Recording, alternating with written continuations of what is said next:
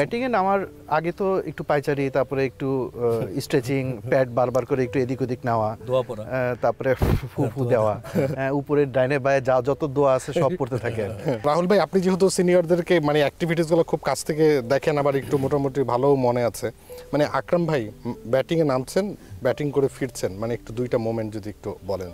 Batting এ নামার আগে তো একটু পাইচারি তারপরে একটু স্ট্রেচিং প্যাড বারবার করে একটু এদিক ওদিক নেওয়া তারপরে ফু ফু দেওয়া হ্যাঁ, উপরের ডাইনে বায়ে যা যত দোয়া আছে সব পড়তে থাকে আর তো এটা তো সবসময় আছেও না। তো যখন উনি যায় তখন কিন্তু আলটিমেটলি খুব বেশি কথাবার্তা বলে না। যে আকরাম খানকে আমরা চিনি পাওয়ার ক্রিকেট প্লাস উইকেটে থাকার জন্য. সেন্সেবল যে একটা ইনিংসটা সেটা কিন্তু পাকিস্তানের সাথে মোটামুটি একটা ভালো গেছে আসলে বেসিক্যালি কি? আমাদের তো ছিল যে আমি রাহুল যেটা বললাম আকরাম ভাই দোয়া পড়তেন।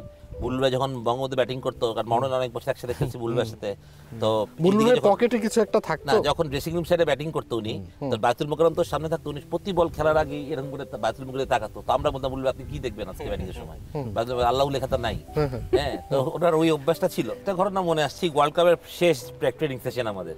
তো আমরা চলে যাব সকালে ট্রেনিং হয়েছে দুপুরে একটা লাঞ্চ ছিল তারপর লাঞ্চ করে আমরা ঢাকায় চলে যাব ফুল টিম বিসিবি থেকে অফিসিয়ালরাও আসছেন বিরিয়ানি টিরিয়ানি রান্না হয়েছে সব কিছু তো আমরা প্র্যাকটিস ট্যাকটিস করে we all went to have a biryani মানে বিরিয়ানি খেতে গেছি। তো খেতে যাওয়ার পর হঠাৎ যখন বেরোয়েছি তখন হঠাৎ করে গর্ডন ডাকছে যে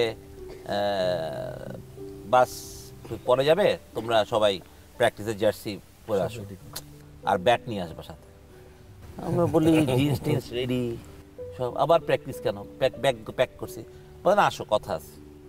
তা আমরা আবার সবাই ট্রেনার প্র্যাকটিসের কিট করে একটা ব্যাট হাতে করে নিয়ে সবাই মাঠে গেলাম। দুই নম্বর মাঠে বিকেএসপির তো বলল যে রবার্ট তোমাদেরকে বলছিল যে তোমাদের খাওয়ার কিছু রেস্ট্রিকশন আছে। তোমাদের ফিটনেসের ব্যাপারগুলো আছে। হ্যাঁ বলছিল। তো তোমরা আজকে সবাই বিরিয়ানি খেয়েছো কেন? আমি আজকে তো আমাদের বলছে খাইতে আমরা তাই খেয়েছি আমরা তো জোর করে কেন আমরা বলছে তোমাদের বললেই তোমরা খাবে তারপরে তুমি বাসায় গিয়ে তোমরা যদি বললে তুমি তাই করবে একই কাজ করবা। বা তোমরা অন্যায় করছ তোমরা এখন দৌড়াবা। একটু বার্ন ইট আউট আচ্ছা বার্ন ইট আউট মানে কি? আমরা তো বুঝি না বার্ন ইট আউট মানে দৌড়াবো। তো ফার্স্ট এরকম জায়গা দিছে যে ওইখান থেকে এখানে দৌড়াতে হবে। তো প্রথম রান নিলাম আমরা তিন রান আমার মনে আছে। তারপরটা হচ্ছে এক তারপর পাঁচ দুই সাত একটা সময় পনেরো। মানে নয় পনেরো কোথায় পনেরো রান নিলাম আমরা। যখন এটা শেষ হলো মানে আমরা মানে দেড়শো দুশো রান নিছি। নেওয়ার পর মানে দেখি চারিদিকে বমি। মানে একদম ফ্ল্যাট আউট করে দিচ্ছে আমাদের। ওয়ার্ল্ড কাপ আমাদের আসলে অনেক কিছু শিখেছে। রবার্ট আসার পর গর্ডন তার এক্সপিরিয়েন্স যতটুকু ইয়ে করেছে।